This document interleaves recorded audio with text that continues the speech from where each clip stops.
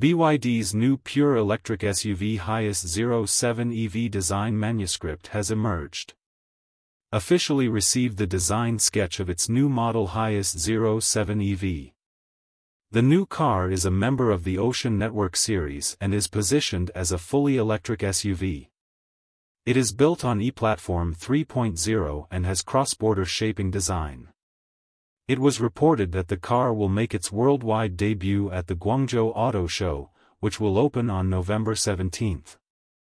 In terms of appearance, BYD Hiace 07 EV was created by a design team led by Wolfgang Egger, BYD's global style director, and builds on the success of nautical aesthetic design, offering us the essence of a new generation of style design.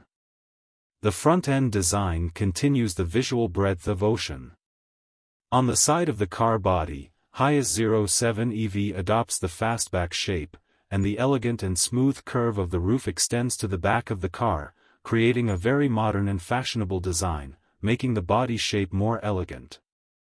The rising shoulder line matches the unique oversized wide-body wheel arches and five-spoke wheel hubs, exuding a strong sense of sportiness.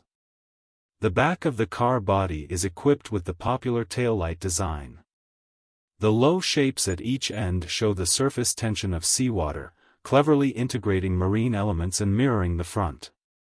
Additionally, rich straight lines and clever curves intertwine to create a powerful visual impact.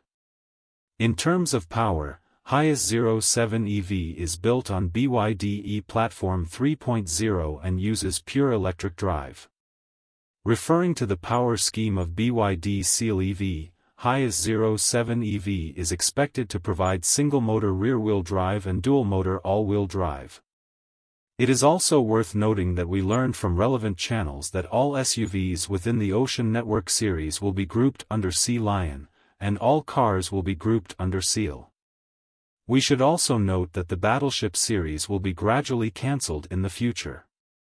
Ocean Network IPs will be Seagull and Dolphin, Seal and Hiace respectively, which means the BYD brand may launch Hiace 05, Hiace 09 and other models in the future.